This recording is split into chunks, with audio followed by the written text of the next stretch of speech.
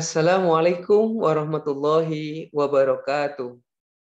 Jumpa kembali pada kuliah perancangan alat dan mesin pertanian. Pada pertemuan ini, saya akan menyampaikan tentang reliabilitas. Di mana capaian pembelajaran pada pertemuan ini adalah mahasiswa memahami dan mampu menghitung nilai reliabilitas suatu alat atau mesin. Jadi, eh, suatu produk ketika dirancang, kemudian dikonsumsi, eh, diproduksi dan dikonsumsi, maka suatu produk itu khususnya alat dan mesin ya, dan lebih khusus lagi adalah alsintan, alat mesin eh, pertanian itu memiliki umur pakai. Di mana umur pakai ini eh, adalah yang pertama adalah probabilistik, artinya adalah tidak tentu, dan yang kedua adalah dapat diperhitungkan. Nah, berikut ini adalah tes ketahanan produk terhadap waktu. Eh, di mana di fase 1 atau awal eh, banyak eh, produk yang rusak ya atau gagal. Kemudian pada fase 2 produk yang rusak adalah dalam jangka waktu yang panjang. Ini adalah delta produk yang survive atau yang rusaknya adalah sedikit Begitu juga pada fase 3 atau fase aus, maka di sini produk yang survive ini sangat berkurang sekali.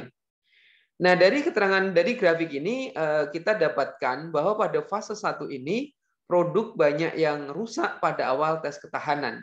Jadi alat mesin yang diproduksi kemudian dilakukan tes atau dilakukan uji, maka pada saat tes ketahanan atau uji itu eh, sebagiannya adalah rusak ya karena eh, gagal eh, pada proses produksi sehingga ini bisa langsung kemudian diredesain.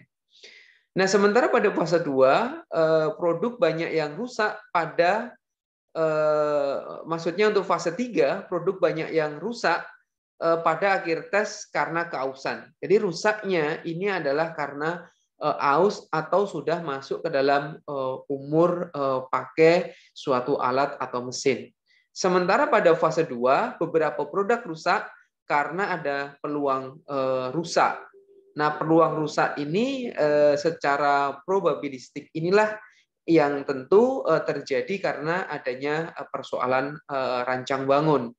Di awal fase banyak rusak karena tes ketahanan, ini memang seharusnya produk-produk sebelum dipasarkan harus dites dulu bagaimana ketahanannya dan fase 3 memang sudah masuk ke dalam umur eh, ekonomis atau umur pakainya eh, sehingga memang eh, sudah banyak yang aus. Namun pada fase 2 inilah yang harus kemudian dikaji yang tentu ini bisa jadi adalah karena ada hal-hal yang berkenaan dengan persoalan rancang bangun.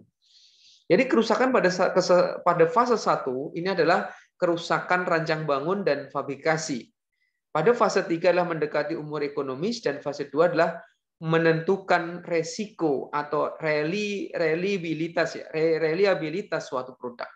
Jadi ketahanan suatu produk. Di mana reliabilitas rendah ini maka eh, alat atau mesin dia akan sering rusak ya dan di sini akan menjadikan biaya operasionalnya menjadi eh, besar. Namun suatu produk dengan reliabilitas yang tinggi, ketahanan yang tinggi pada fase 2 ini, maka eh, alat atau mesin yang memiliki reliabilitas tinggi ini, maka pemeliharaannya menjadi rendah.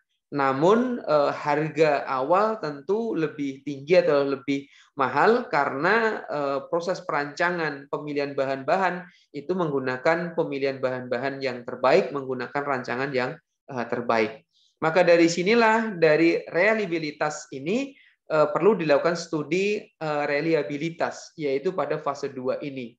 Apakah pilihannya adalah kepada eh, alat atau mesin yang reliabilitasnya rendah ya, sering rusak namun tentu harganya lebih murah ataukah menggunakan alat atau mesin khususnya di bidang pertanian ya yang memiliki reliabilitas tinggi namun harga belinya adalah tinggi. Nah, berikut adalah grafik pengukuran reliabilitas. Jadi reliabilitas atau RT ini eh, merupakan ya eh, nilai dari eh, E dipangkat dengan C kalikan dengan T. Jadi ke arah sumbu Z ini adalah reliabilitas, kemudian ke arah X adalah waktu operasi. Di mana fase 1 dan 3 diabaikan karena waktunya eh, sangat eh, singkat. Maka yang dinilai adalah pada fase eh, 2. Di mana jumlah produk yang eh, rusak per interval waktu tertentu ya delta T proporsional dengan jumlah yang eh, survive ya atau NS jumlah yang survive pada waktu T dan interval waktu delta T. Sehingga delta NF atau eh, jumlah produk yang survive ini sama dengan C eh, dikalikan dengan NS ya, jumlah produk yang survive dikalikan dengan delta T. Sehingga delta NF dibagi dengan delta T sama dengan C kalikan dengan NS di mana NF ditambah dengan NS itu sama dengan uh, jumlah produk itu sendiri. NF adalah produk yang gagal, file, kemudian eh, NS adalah produk yang survive eh, NS. Nah, maka delta NS dibagi dengan delta T ini sama dengan min C kalikan dengan delta NS ya. C adalah konstan konstanta suatu nilai konstanta tertentu di mana NF adalah jumlah produk yang rusak atau file. Nah, maka reliabilitas sistem dalam waktu T adalah probabilitas survive produk selama waktu T. Sehingga RT sama dengan NS pada waktu T dibagi dengan N.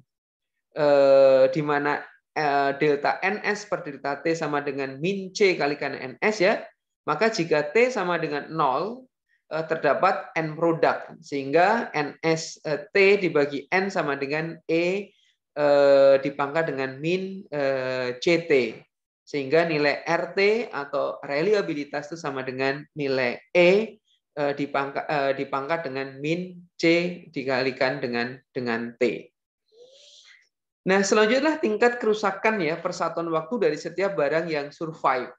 Di zona 1, zona 2 dan zona 3 ya. Eh, maka di sini pada zona 1 C-nya ini tinggi akibat kesalahan fabrikasi. Sementara pada eh, zona 2 C-nya rendah dan pada zona 3 eh, C-nya tinggi akibat keausan komponen suatu produk kan gitu. Nah, selanjutnya kita juga akan mengukur tingkat peluang rusak atau mean time to failure, yaitu waktu rata-rata rusak. Di mana eh, MTTF ya mean time to failure ya sama dengan seper n dikalikan dengan t dikalikan dengan delta f dibagi dengan delta t kalikan dengan delta t. Sama dengan seper n dikalikan dengan t kemudian dikalikan delta ns per delta t kalikan dengan delta t. Nah, karena apa? Karena delta ns per delta t sama dengan min c kalikan ns Eh, maka kemudian NST per N ya, ini sama dengan eh, apa? E pangkat min CT ya. Nah, ini kemudian dilanjutkan sehingga seper N kalikan dengan T dikalikan dengan delta NS per delta T diganti dengan C dikalikan dengan S kalikan dengan delta T. Sama dengan eh, ini nilainya sama dengan C ya. Sehingga eh, C kalikan dengan T kalikan dengan Eh, min dengan E dipangkat dengan CT kalikan dengan delta T. Nah, setelah kemudian diintegrasi didapatkan bahwa MTTF itu sama dengan seper C, di mana T mendekati tak terhingga. Nah, sebagai contoh sebagai berikut, jadi sebuah mesin memiliki MTTF 10.000 jam. Jika mesin dipakai selama 100 jam kerja, hitunglah tingkat kerusakan mesin dan besarnya reliabilitas. Nah, maka di sini dapat kemudian dihitung bahwa yang pertama adalah eh, kerusakan mesin ya, tingkat kerusakan mesin atau nilai C, maka sama dengan C eh, di mana MTTF sama dengan seper C sehingga C sama dengan seper eh, MTTF. Sama dengan satu ya dibagi dengan MTTF-nya adalah 10.000 per jam. Sehingga kemudian di sini nilai C-nya adalah 1 per 10.000. Nah, kemudian yang kedua, nilai reliabilitasnya atau RT pada waktu waktunya adalah 100 jam, maka RT sama dengan E pangkat min T eh, dibagi dengan eh, apa? C ya, seper MTTF yaitu seper 10.000 ya, seper 10.000. Jadi nilai RT tadi adalah eh, E dipangkat min T kalikan dengan C. Di sini C-nya adalah seper MTTF sama dengan 1 per 10.000. Maka C-nya diganti dengan 1 per 10.000. Nah, maka eh, reliabilitas pada waktu pemakaian 100 jam atau R kemudian pada T sama dengan 100 sama dengan E dipangkat dengan min T. Min T-nya adalah 100 jam dibagi dengan 10.000. Eh, R 100 sama dengan E pangkat eh, minus 100 eh, dibagi dengan 10.000 adalah min 0,01. Sehingga nilai E ini bilangan natural 2,7 sekian ya pangkat min 0,01 sama dengan 0,99. Sehingga nilai reliabilitas pada T sama dengan 100 jam adalah 0,99. Artinya bahwa ketahanannya ini masih eh, sangat eh, bagus. Dan ini juga bisa tercermin dari MTTF-nya sebesarnya 10.000 jam sehingga 100 jam itu masih sangat eh, tinggi. Ini berarti adalah prediksi umur suatu alat atau mesin ya pada fase 2 pada fase pemakaian. Nah, berikut ini latihan jika suatu mesin atau alat yang memiliki MTTF 10.000 jam, hitung R pada penggunaan 1.000 jam dan juga R pada T 10.000 atau 10.000 jam.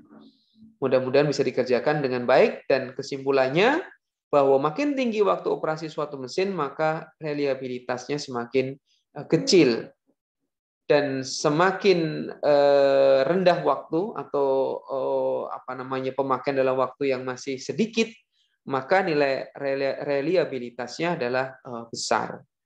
Reliabilitas mesin itu adalah probabilitas survive selama operasi mesin dan eh, MTTF hanya memberikan jangka umur harapan. Demikian mudah-mudahan bisa difahami dengan baik. Ketemu lagi pada eh, pertemuan yang akan datang. Kurang lebihnya saya mohon maaf. Terima kasih dan wassalamualaikum warahmatullahi wabarakatuh.